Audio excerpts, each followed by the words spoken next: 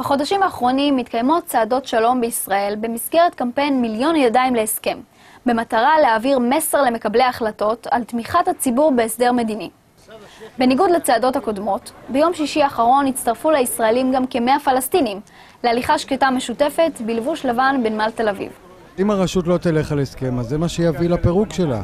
احنا هدفنا الفلسطينيين ليس سلطة في تحت الاحتلال فلتفكك السلطة إذا لم يحصل السلام يعني لا يعنينا أمر السلطة بقدر ما يعنينا السلام. الشارع الفلسطيني ملتف حول الرئيس أبو مازن وفي معظمه مقتنع بالسلام سواء كان في الضفة الغربية أو في قطاع غزة أو خارج فلسطين.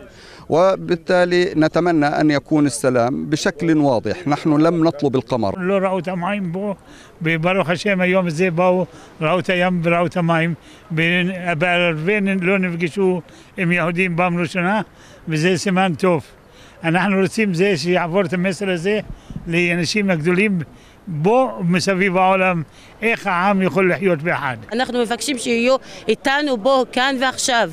של ה- ראש הממשלה, של אבו מאזן, של כולם, שיבואו כאן ועכשיו ויראו איזה תמיכות יש בו, איזה שלווה של שלום שיש בו, איזה קשר וגשר שיש בו.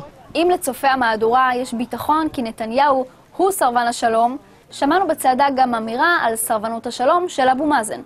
אני אומר לאבו מאזן בצורה נכונה, אם אתם לא יודעים לעשות משא ומתן, אז תיתנו למדינת ישראל תקיים את השלום ותעשה את השלום ושני העמים יחיו ביחד. אם שתי מדינות מקובל ואם מדינה אחת מקובל, רק ששני העמים יחיו ביחד, מתחת לתקוות שלום, מחיים ביחד, כשנצא מהחושך לאור של החיים. بنحب السلام يعم على الجميع إن شاء الله ونكون كلنا يد واحدة وشعب واحد إن شاء الله ان شاء الله السلام يا رب אני נמצא כאן כי אני מכבד את אלה שארגנו את זה, אני גם עוזר להם בכל מיני צורות אה, בלי להיכנס לזה, אבל אה, אני לא מאמין בדרך הזאת.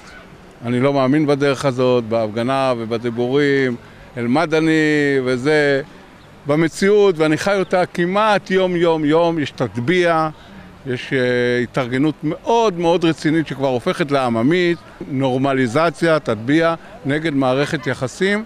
בין ארגונים ישראלים לבין ארגונים פלסטינאים. אנחנו מתעסקים, אני והחברים שלי, בקטע הומניטרי, ואני למרות הכל ממשיך עם זה, ואני מאמין בזה, כי מה שמניע אותי זה לא בדיוק פוליטיקה, מה שמניע אותי זה השכנים שלי. תגיד לי, עלי, אתה נתקל בהתנגדות לפעילות שלך בצד הפלסטיני? ברור, ברור. אני, אנשים, ת- אנשים אה, לפעמים קוראים לזה נורמליזציה. ש- שבן אדם לא יכול להיות חלק משלום כל עוד שהוא סופג כל יום. העם הפלסטיני שהוא תוקף והוא כועס, לא מפני שהוא שונא, אלא מפני שהוא חוסר התמודדות עם הסבל היומיומי.